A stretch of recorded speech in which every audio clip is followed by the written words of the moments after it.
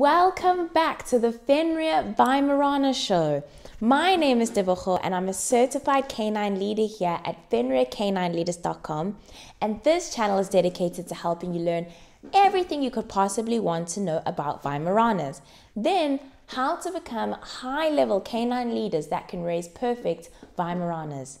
So, if you're a lifelong Weimaraner lover, thinking about getting one, or just started your journey with your new pup, then this channel is for you. So make sure you hit that subscribe button and turn on the notification bell so you never miss a future Weimaraner video.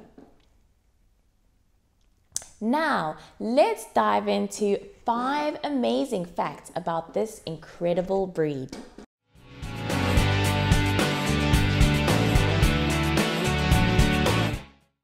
Did you know that Weimaraner puppies are born with dark tiger stripes all over their bodies?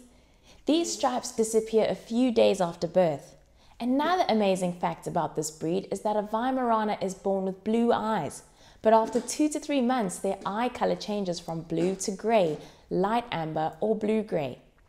Weimaraners gained their nickname the Grey Ghost dog because of their coat color, which is a very light gray color and also because of their ghostly, silent hunting style. Moving on, Weimaraners are extremely clever dogs and are often referred to as the dog with a human brain. If they are not properly mentally or physically stimulated, then they can become a problem. They can very quickly learn to open crates and gates, steal treats, and outsmart their human owners. They are very good at problem solving, so mental stimulation toys such as a Kong or puzzle toys are a must with this breed.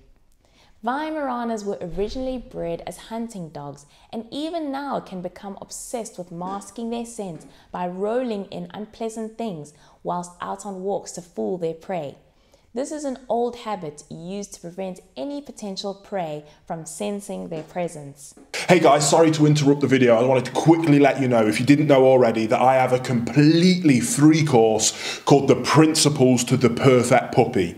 In that course, I break down all of the most important things that I think you absolutely have to know and understand for you to become a high level canine leader that raises your own perfect canine companions. So if you want to go and check out my completely free Principles to the Perfect Puppy course, there'll be a link down in the description box below. Thousands of people have taken that and had incredible success. So I can't wait to see you over there. Again, there'll be a link in the description box below. I'll see you on that course. Following on from this, let's touch upon the Weimaraner's excellent sense of smell. They have been used in many search and rescue missions, including missing person cases. One Weimaraner called Dingo in particular is well known for his help during the Cold War. Dingo was selected to help sniff out small parts of missiles coated squalene and shark liver oil fired in the desert by scientists so they could recover and study the pieces of shrapnel. Whilst doing this, Dingo wore a special jacket which was filled with ice cubes to keep him cool during the summer months. Another interesting fact about the breed did you know that long haired versions of the Weimaraner exist? Their hair can be wavy, straight, and smooth. Although they are quite uncommon, they were bred to specifically hunt waterfowl such as ducks and geese. The long hair would keep them warm and protected them when jumping into the water.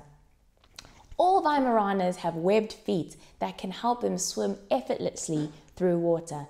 This was engineered into the breed to make them become better hunters. Our final fact about Weimaraners. Were you aware that they are one of the world's fastest dog breeds? They can reach running speeds of up to 35 miles per hour.